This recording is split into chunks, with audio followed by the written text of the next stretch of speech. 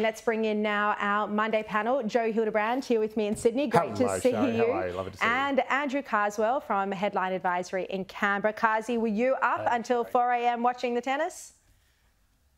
I wasn't, to be honest. I stayed up and watched a bit of the tour, but I, I couldn't couldn't hang around for the uh, for Wimbledon, unfortunately. Oh, well, Getting old, Sharri. Well, Joe, I bet you were watching, if not Wimbledon, Fadden on All Saturday night, by election, Yeah, that was, the, that was to the, the, only television. game in town. That was the only contest in town. Um, yeah, it was a really, it was a really interesting one, the Fadden by-election. I think um, the idea that this is a sort of, I, I liken it in my column tomorrow to sort of Dunkirk, where survival is victory. Um, the fact that you've retained this seat and gotten a small swing towards you is good. It's great. It means the Liberal brand isn't dead, but I don't think it's necessarily this kind of, you know, clarion call, this champion sort of rallying cry to the Liberal Party banner. It's basically a result that should never have been in doubt and which only really was in doubt because of the unprecedented uh, swing to a sitting government and a big swing too in Aston uh, just a few uh, weeks or months ago. So I, th- I think you know, Fadden is actually business as usual rather than a big sort of great leap forward for hmm. the Libs. Well, look, the argument, Andrew Carswell, is that often governments see a swing of around 5% against them in a by election.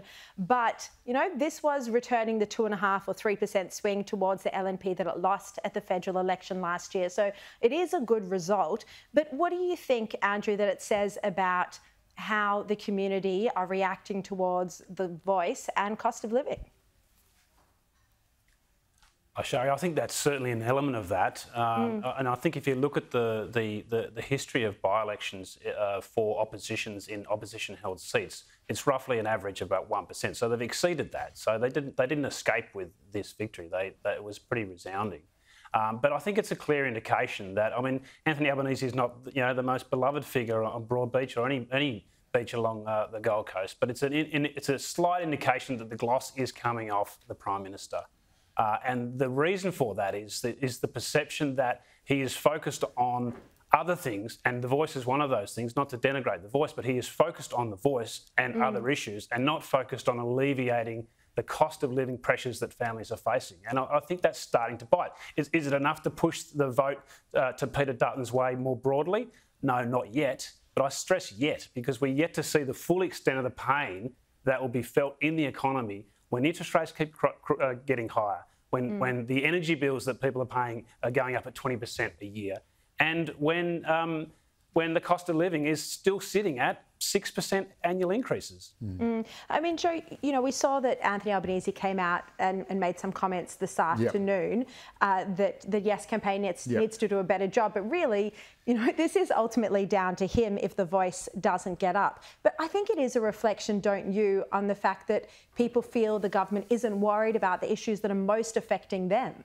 Yeah, I think that is actually fair enough. I think at a time when you've got, when you're worried about your own future and you're worried about your own house coming or going, uh, you're going to be much less disposed to be worrying about other people's future. And when the voice gets raised, um, people think, well, hang on, why are you even talking about that when there's this crisis, when there's this sort of abyss that I'm looking looking at? So I think um, you, you, I think I think you will see more of a focus on cost of living pressures over the next couple of months from the government. The government has had an extraordinarily long honeymoon period. It's sat very, It very high in the polls for a very long Yes. time. And given that this cost of living crisis has been going on for pretty much that whole time, I'm not surprised that now a little bit of the skin is starting to come off. And they are starting to say, actually, you've been in power for a year now. Maybe some of this is your fault. Um, whether that's fair or not, I'm not so sure. But I think hopefully when when the, the pressures ease towards the end of the year, that will be better for the voice and better for the government. Well, if the pressure eases, it If the could, it could get worse, of course, when people come off their fixed